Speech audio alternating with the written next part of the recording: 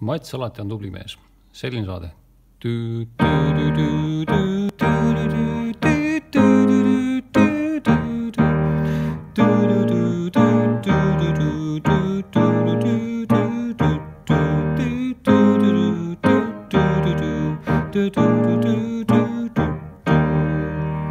ehk siis tegelikult saab siin mängida väga kenasti kolme akordiga. See on sulle väga tuttav asi. no E-stuur ja A-stuur olid meil viimases selles äh, fonos ka veel. ja no B-stuuri võib mängida siin kas kolmkõlana või ka seitsmena. et see on sulle ka tuttav asi. nüüd harjutamise mõttes võiks tegelikult mängida seda ka mõnes teises pöördes.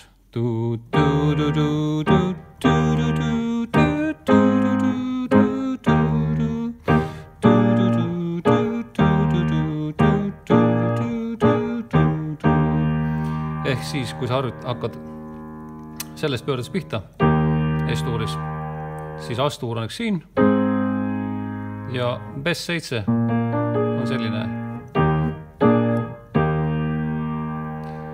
ja kolmas variant, mis läheb natukene võib-olla kõrgele, siit on ta kõrge, siit on võib-olla veits madal, aga noh, oletame, et siit mängida.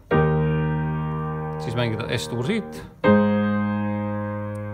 En ze is best onzin.